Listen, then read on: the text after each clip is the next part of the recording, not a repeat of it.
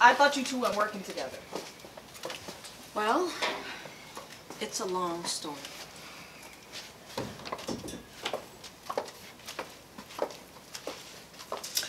How are you holding up? I'm doing well. And your daughter? She's doing great. Look, look. We have something to inform you about Mr. Mathis. Now, we know his trial date is coming up next month, but we... But what? But what?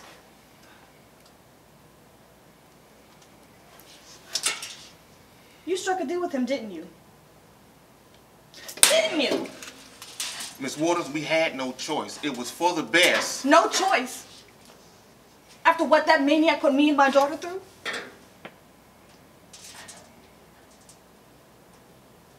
He needs to stay locked up. We understand how you feel.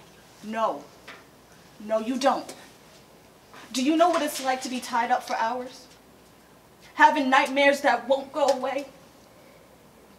Every time I'm walking to my car, looking over my shoulder, wondering, is he gonna kidnap me again?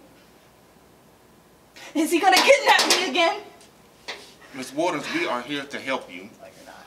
Now, I'm sure you heard of the Witness Protection Program. Witness protection? Yes. Yes, yes. I'm not going into witness protection.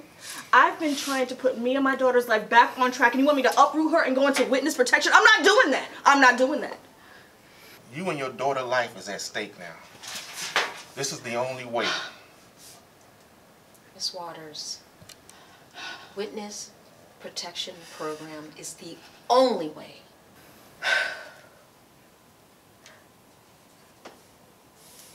Fine. Fine. Good, good.